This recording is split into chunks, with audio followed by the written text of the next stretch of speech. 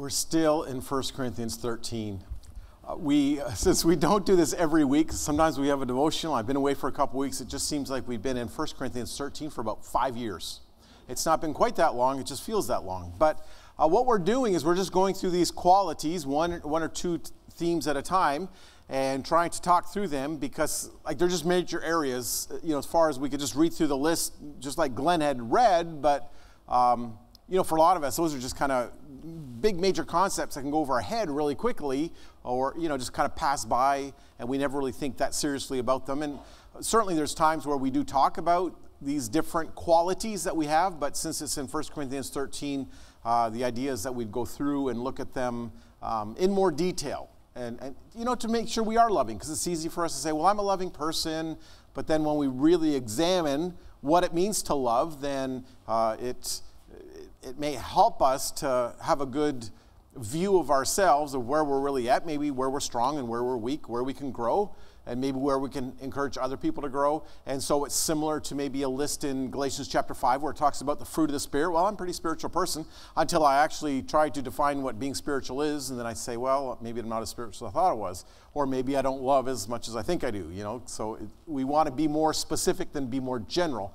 And so today we're going to look at just the two sections. One is not, this is kind of like 5b, we would say verse 5b, is not easily angered and love keeps no record of wrong. So the first section at this point is just saying we are uh, going to look at the, the idea of not easily angered. And, and I know, you know, you can do a whole Bible study series on, you know, being in control of our emotions and our feelings and the way we treat people. And well, there is a righteous anger, so maybe there's times we even see that Jesus got angry. Uh, we know that God gets angry, but again, that is all done, you know, in a in a godly way as opposed to a selfish way or uh, an out of control way. God's never out of control that way. He never lets his emotions get too far, and you know, uh, so what does this really mean that uh, not easily angered? Now we know what it is to be easily angered because most of us have at least done this once in our life, right? Where, you know, after the fact, we kind of think, well, I kind of overreacted a little bit there, and that person did something, or maybe it was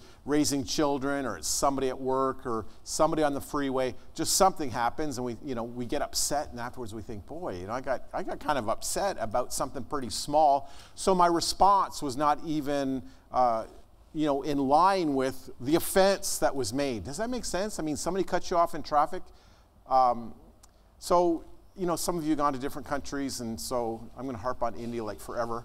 Um, so here's something that's just kind of funny. Um, they honk their cars, honk, honk, honk, all the time.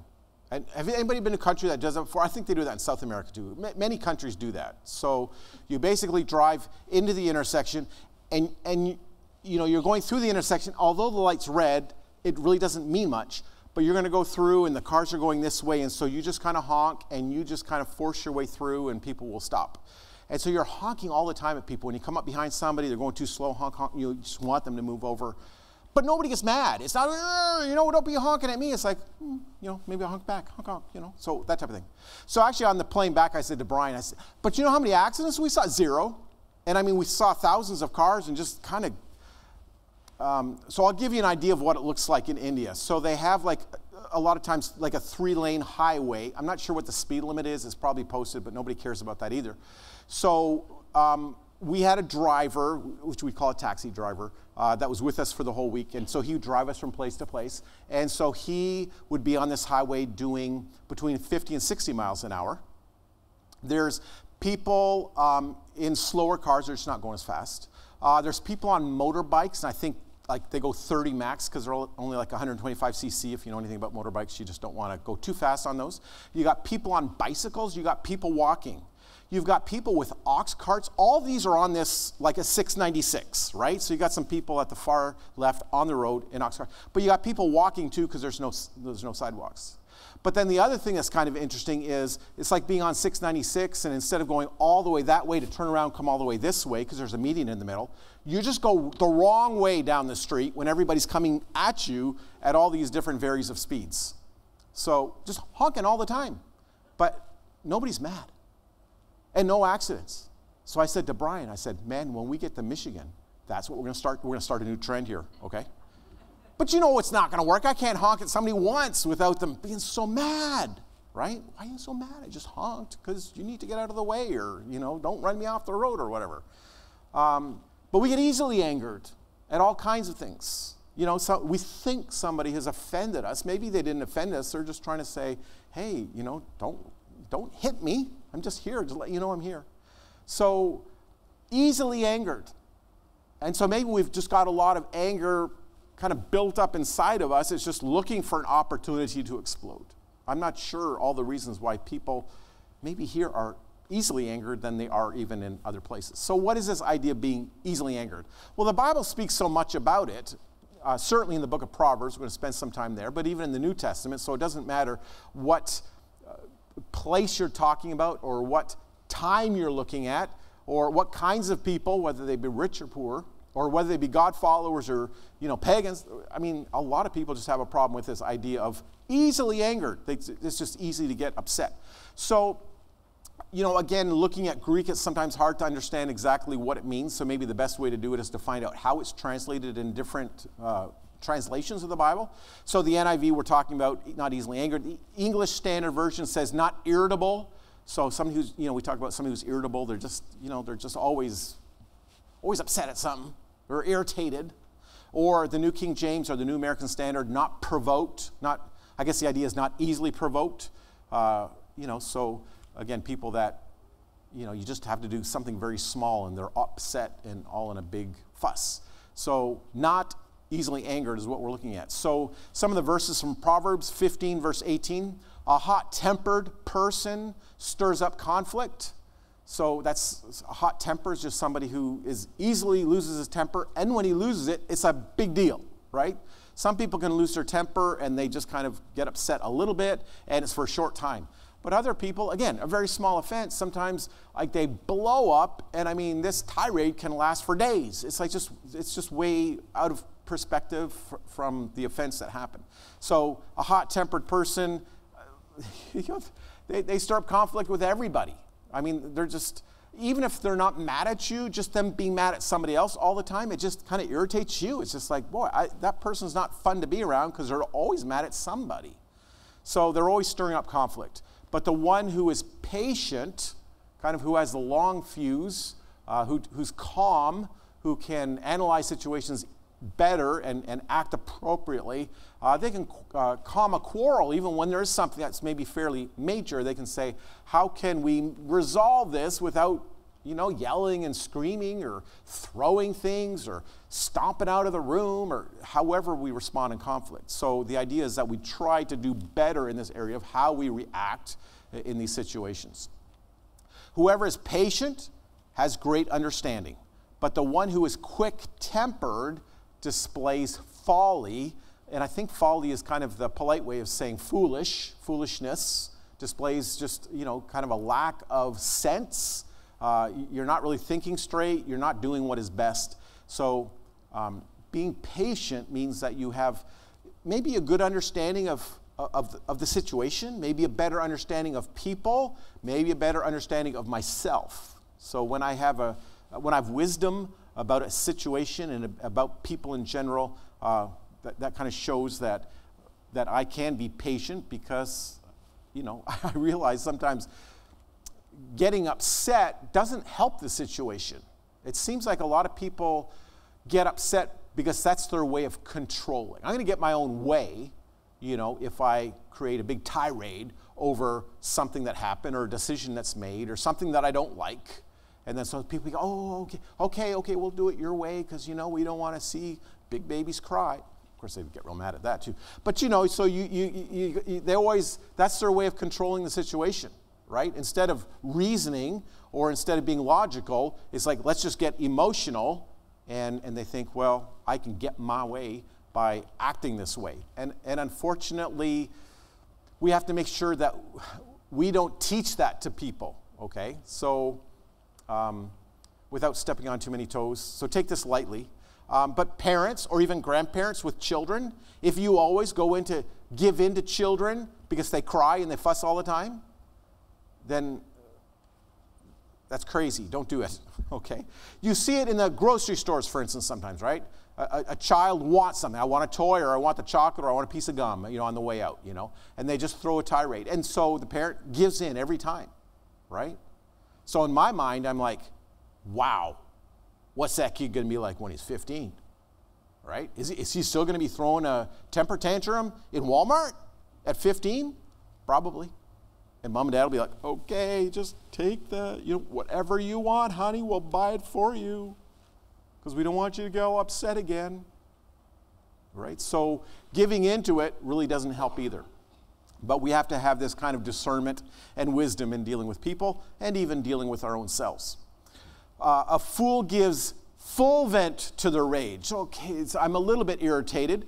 Well, I don't need to display it every time. I don't need to express it either again verbally or with my actions. I don't need to give full vent to it. I don't need to let it just blow up. I need to learn how to deal with it. Sometimes we call that self control. So we say, hey, you know, I'm a little bit upset. Maybe I need to calm down. Maybe, maybe even before I talk to somebody about how upset I am at what you've done and what you said, maybe I just, hey, I just need to take a break. You know, I, I, like I'm just too upset right now to try to express it, and I, I don't want to get all upset. So maybe I'll just, you know, calm down a little bit before we get involved with uh, maybe trying to find some resolution. But but the wise bring calm in the end. So that's kind of what we're pointing towards. That's, that's our goal is for peace, for reconciliation, for understanding, uh, for, for this to work out in a positive way, not just so that you know I can make a big deal out of maybe something that's pretty minor. Psalm 37 refrain from anger and turn from wrath, and do not fret, it leads only to evil. So, again, avoid this of, of losing control, avoid anger, refrain from it, and, and refrain from this whole idea of, of, of you know, trying to get even and, and trying to always win and always get my way. Refrain from that um, because you know, sometimes people do things they shouldn't do, and certainly people say things they shouldn't say when they're upset. And, you know, he's saying just have a little bit more control than that when you're trying to deal with these situations. It, it's to one's honor to avoid strife. So again, it's not, hey, does, does it seem like there's some people, it's like, like they're not really happy unless they're involved in some big, big thing going on. And if there seems to be too much peace, like they're the ones who are going to stir up the trouble. Like they somehow find a sense of meaning or purpose or enjoyment or fulfillment in being involved in all these battles and these struggles and these arguments, you know? So just say, I don't need to be involved in an argument. You know, in my mind, I can just say, well, that person is upset, or that person's wrong, or that person offended me a little bit. But I don't need to get involved with their issues. Like that's that's on them. If, if they can grow through it, then that's up to them. But I don't need to get involved with everybody's uh, foolishness or everybody's uh, dirty laundry or whatever else is going on. I could just say, hey, I'm just going to avoid that. Um, but every fool is quick to quarrel. So some people just jump right in, and for whatever reason, I, I guess they, when people are like that, they have some kind of issue that maybe they've not dealt with, and maybe they're still trying to work through. But you don't have to be involved in everyone's issues. Um, do not make friends with a hot tempered person. So, again, you're spending a lot of time with people that are always involved in conflict and fights and, and disputes, and, and they're just that kind of a hot tempered person. Do not associate with one easily angered, or you may learn their ways and get yourself ensnared. So, either you're going to become more and more like them, you learn from them, or you're going to get involved in all kinds of arguments. It's almost like being an accomplice to a crime. You know, it's like if you hang out with them, people are like, well, you know, you know, this guy, he's always that way, but you know, his buddy, his buddy's Peter Morphy. So I guess Peter must be involved somehow. Maybe Peter's the one who kind of provokes him, say, hey, you need to, you know, be my hitman when it comes to, you know, really putting people in their place, right? And so I don't get angry. I'm just kind of inciting him to get angry or something. So it's maybe better to avoid those kinds of situations. And if somebody's like that all the time, then uh, to, to avoid being with them and being involved in, in a lot of the things that they do. Well, in the New Testament, Ephesians chapter 4, in your anger, do not sin. So again, he's saying there are times where, you know, you may be angry, but you don't have to sin in your anger. There is a righteous anger. quite often we have a hard time dealing with righteous anger because we're not always that righteous. Now, we may say, I'm angry for a good cause. You know, I'm standing up for the helpless. It's like, well, kind of, but you're still, you know, you still got issues of your own that are unresolved. So it's hard for us always to see things clearly and in a godly perspective. But, you know, Jesus got angry when he was at the temple because the people were um, not allowing people to worship there. And he said, You've made uh, the, uh, God's house, which is a house of prayer, you made it a den of thieves, right? So he was not happy that they're desecrating the temple area for their own personal gain and taking advantage of people and really not even allowing some people to worship. So Jesus, righteous anger, and he's upset. And so he ended up, like, you kind of look at him and go, wow, he's pretty mad. I mean, he's turning over. I mean, could you imagine someone coming in here today and somebody turning over some pews and, you know, um, burning some of our songbooks and, um, where's our song leader? Oh, there's our song leader. I don't know what we do to our song leader. You know, we, you know, just, you know, we get create a whip. You know, just I don't know. We'd say well, that's per, that's pretty extreme, but yeah, Jesus was really trying to show them that what they did was was against God. They've been doing it for so long, and yet um, they, they were despising God and dishonoring people, and you know, they were just making a, you know, a big show of of uh, of worship and, and, and God was not happy with that, and certainly Jesus was not happy with that. But then he says, Do not let the sun go down while you're still angry. So, kind of deal with your anger, resolve your anger, settle your anger, um, and do not give the devil a foothold.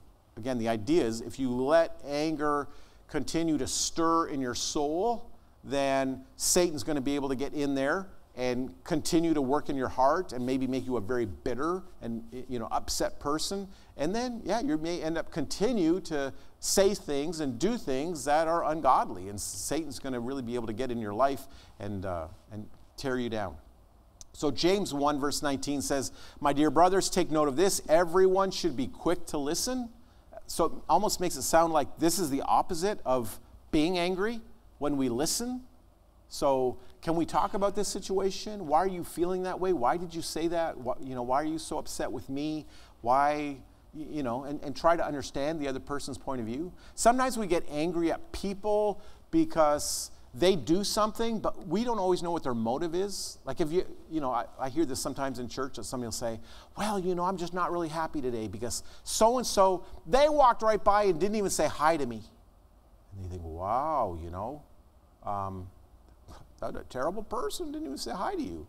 Well, you know, the fact is, maybe they were talking to three or four different people at the same time and they had somewhere they needed to go and they just passed by you and didn't say they weren't necessarily mad at you, but you're angry at them and kind of imposing something on them that they didn't really mean to do. They, they, weren't, they weren't dissing you. You know what that means? I don't either. That just means ignoring you or, you know, blowing you off or just, you know, saying, hey, you know, I don't want anything to do with you. I don't care about you. They weren't doing that. They were just maybe focused on something else. Maybe they had something on their mind, you know. So you, you can't be offended at everything people do. But hey, if you need to talk it out, say, hey, you know, is everything okay? I noticed you didn't even, you know, stop and talk today. It's like, oh yeah, well everything's okay. I, you know, I explain. They explain it. You go, oh, well that makes sense, because I was pretty mad at you. I thought you didn't like me anymore, right? Well, sometimes when you talk to people, you find out what's going on, and, you, and your anger's resolved. It's like there's nothing there to be angry about. But I'd only been angry like for three and a half weeks over that until I finally got to talk with them, Right? So sometimes just listen, try to understand what's going on. Slow to speak, slow to become angry. And this is the important part because man's anger does not produce the righteousness that God desires. So our anger, again, is not making anything better. Like when you get angry at somebody, very seldom does it automatically resolve the problem, right? You know, so we say, hey, hey, Johnny, thanks so much for getting angry at me because, you know, if you didn't get angry, I wouldn't have become a better person. I mean, how many people have ever thought that way? Now, when someone comes to you in love and tries to explain something and show you from God's word, tries to, you know, you know, if they start by saying, hey, you know, I really care about you and I love you, but, you know, there's just something that in your life that I've noticed and, you know, maybe it's something you can think about. You know, you take that a little bit easier than somebody who's yelling and screaming and, you know, flying off the handle. So you, you kind of have to understand the best way to communicate, and usually it's not through being out of control. All right, so um, Psalm 103. And so this is the end of, of this section. Just got one more quick section to go through. Not easily angered. Here's the thing what is God like towards us? Because we offend him all the time, we sin against him all the time, we do things that we shouldn't, we don't do the things that we should. Sometimes we ignore him, right? So, how is God towards us? The Lord is compassionate and gracious. Well, if He's that towards me, maybe I could be that towards somebody else without getting angry. See, God is slow to anger, He's abounding in love. He will not always accuse, nor will He harbor His anger forever. He does not treat us as our sins deserve or repay us according to our iniquities. So, if God's like that to us, then we should be able to be uh, forgiving and, and, and kind and patient with other people even if they are doing things against us that they shouldn't do, uh, hopefully trying to work it out and trying to resolve the situation. So the next part is uh, with this anger, part of it is not keeping a record of wrongs. Because I think if we have a long record of everything that you've, just a second, I've got a piece of paper here about how you all sin against me, you know, so I'll go through them all and don't worry, like there's only 35 pages of how you've hurt me over the years. Well, who's keeping a list? You know, who, who, who, why would you do that? So this is kind of the idea. Now, it's not always written, but it's in our minds. It's like, yeah, I remember like five and a half years ago they said something, right? You're still holding on to that? Well, yeah, I'm not really sure if they were really sorry. Well, did you ever talk to them? No, I didn't really talk to them about it. It's like, so you think they're carrying that uh, around in their mind too? Uh, probably not. So it's just you, really. You're just carrying around this for five and a half years. And is that really helping you in your relationship with them? No, not really. Does that really help you in a relationship with other people? No, not really. Is that helping you in your relationship with God? Well, no, no, no, not at all. But, you know, I like holding on to it, right? Maybe I can use it sometime. Like, use it for what? Well, if they do it again, then I'll be able to say, listen here, mister. You know, you did this to me the other day, but I also remember that five and a half years ago, you did it to me a second time. Well, that's really helpful too, isn't it? Right? Keeping a list of everything that people do. So, uh, again, depending on what translation you use, not resentful is from the ESV, or thinks no evil. That's the idea of it dwelling on it and continuing to remember the evil, keeping it in your thoughts. Uh, the New American Standard does not take into account a wrong suffered. So again, it's kind of more of an accounting term where you're keeping a ledger, you know, just like somebody would with your, your financials. You know, you keep a, a book and you write everything down. You know, here's some good things they did, and here's the bad things they did, and, and you know, I, I got the record on you, right? So he's saying, well, don't do that. You don't have to keep record. You don't have to keep score. You don't have to figure out how you're better than everybody else. So the idea perhaps in this is maybe this list in 1 Corinthians 13, it's not uh, exclusive and it's not inclusive. In other words, it doesn't include everything that love is or everything that love is not.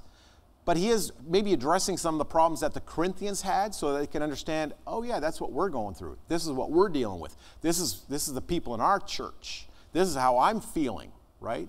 So one of the problems was 1 Corinthians chapter 6 that people were taking each other to court, the court of the land. And so I'm going to sue you because you've harmed me, because you've defrauded me, because you've done something wrong against me. So I, am going to take you to small claims court, right? So it's like, really? You're taking your brother to court? Is, is that really the best thing to do? Is that the way you got to resolve your problems? So he said, in fact, you have lawsuits among you.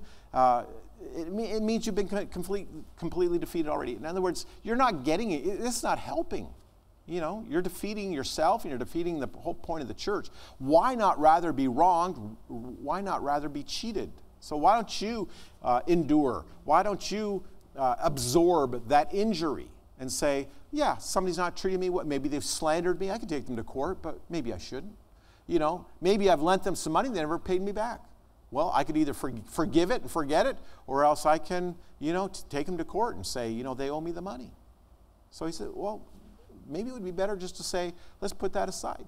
Yeah, I've been wronged, but that's okay. I've wronged other people, they've forgiven me. I've wronged God, He forgave me. I can forgive somebody. Right? So so maybe that's the idea. If we don't keep record of wrongs, then they don't keep coming up all the time. And so this is one example, maybe, where he says the people in Corinth, maybe it was just, uh, you know, a custom, the society way that people grew up saying, yeah, you keep a record of everything that people do to you. Again, Proverbs talks about this. A, pro- a person's wisdom yields patience. It's to one's glory to overlook an offense. Think about that. It's to one's glory to overlook an offense. Not even to, he's not even talking about recording it, but just saying, you know, they've offended me, but I'm going to overlook it. Now, by me telling you that I overlooked your offense towards me is not really overlooking it, but that's okay. But it's just within me to say, yeah, I don't need to pursue this. I don't need to make a big deal out of this. I don't need to remember this.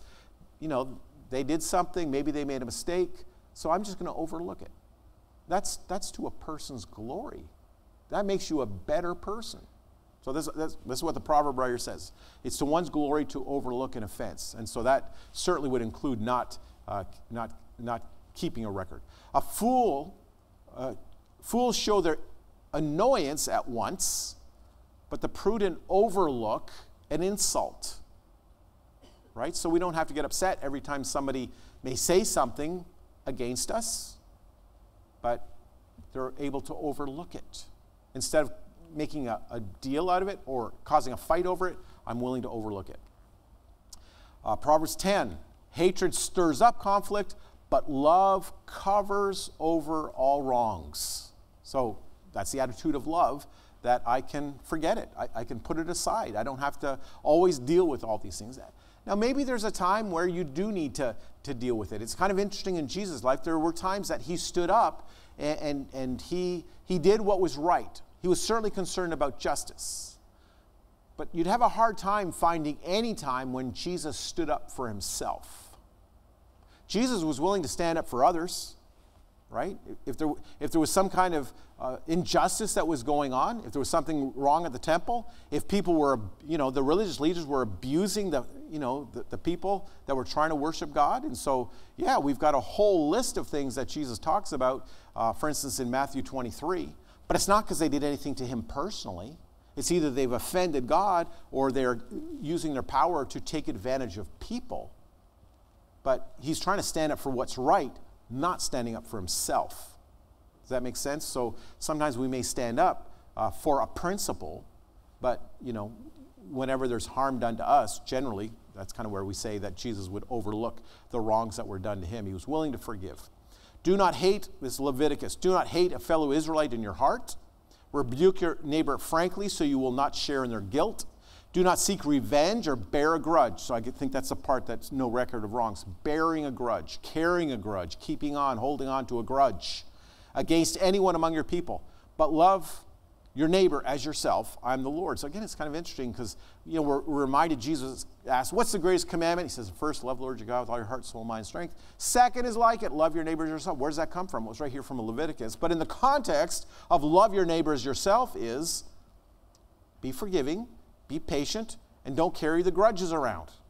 That's what it means to love your neighbor in the context. Love your neighbors yourself is based on, you know, how do you love them when they've done things to hurt you? or they've done things uh, you know, against you, then, then how do you react? So uh, we try to do the right thing and have the right attitude and not carry around all this, uh, this list of what's going on.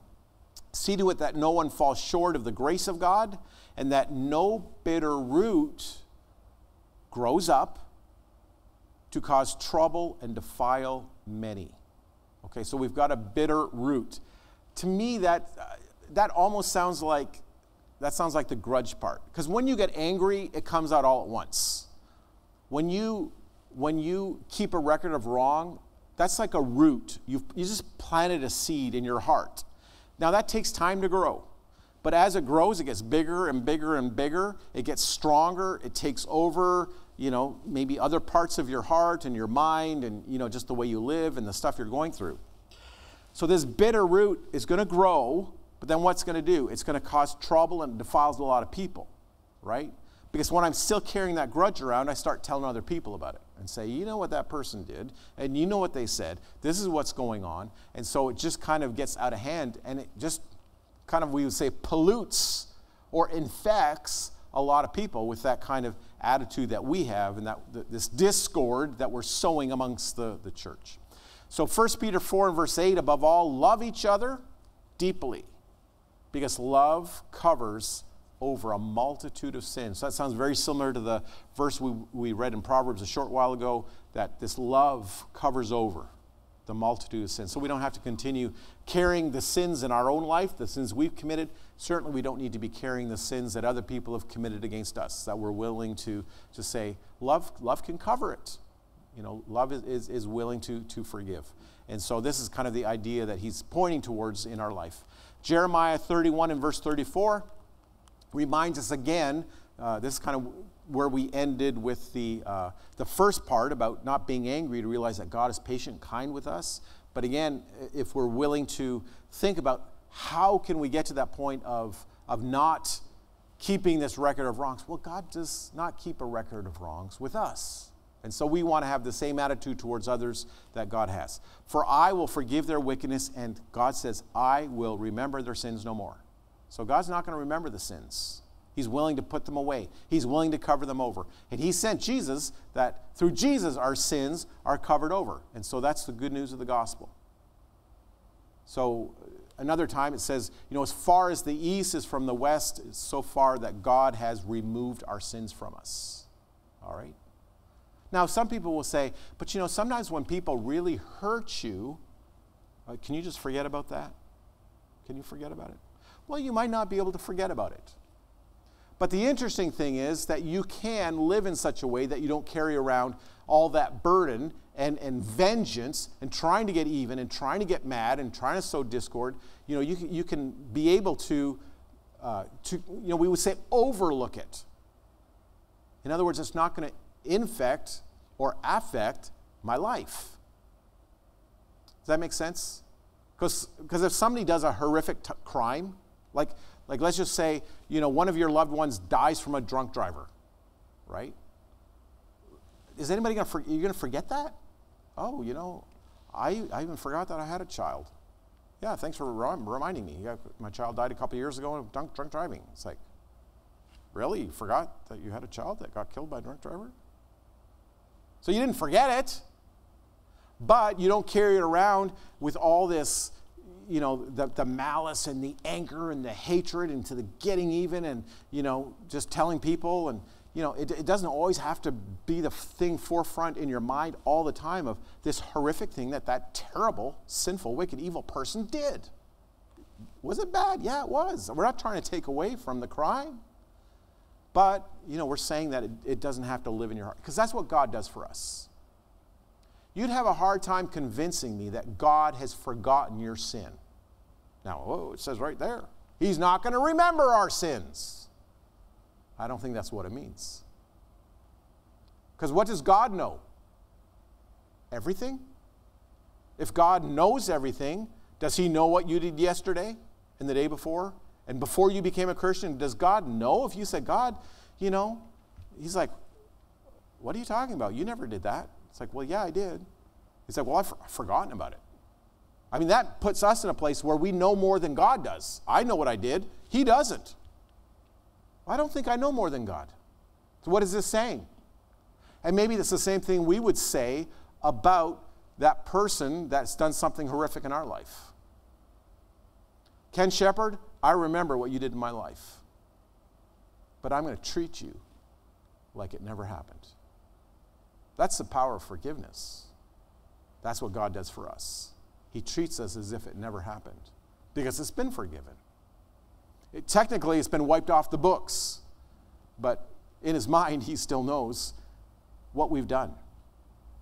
But he's willing to reconcile, and he's willing to put that, be- and he's not going to keep bringing it up.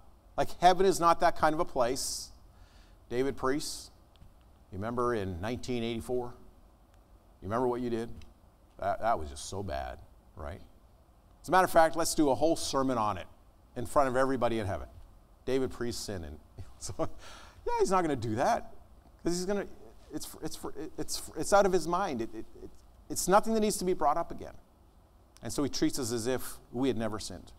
And that's the power of the cross. That's what salvation is all about. That's what God's done for us. And so, again, the idea is if He's done that for us, then we can do that for each other. So, we always give an opportunity for those that, that maybe do have a, an awareness of sin in their life. Because if people don't have an awareness of the sin, they don't need a savior. Well, they do need one. They just would never realize it. They never, they'd never acknowledge it. Why would they need a Savior if they don't recognize their sin? But maybe when people recognize their sin and realize, I've sinned against God, my, my, my relationship has been broken. And because God loved us so much, He sent Jesus into the world. That's kind of what we remembered around the Lord's Supper. Jesus died for us that we could have life, we could be reconciled, we could have hope, we could have eternity with Him in heaven. So God has provided a way of salvation for us. And so we always offer an opportunity if someone wants to become a Christian, to surrender their life to Christ, to make Him the Lord. We turn from our sins and, and we live for Him. And if someone wants to be baptized into Christ so that their relationship can begin through the death and the burial and resurrection of Christ through the waters of baptism, uh, we always provide that opportunity. If we can encourage you or help you or pray with you, let's stand, we'll sing this song, and let us know how we can be a blessing.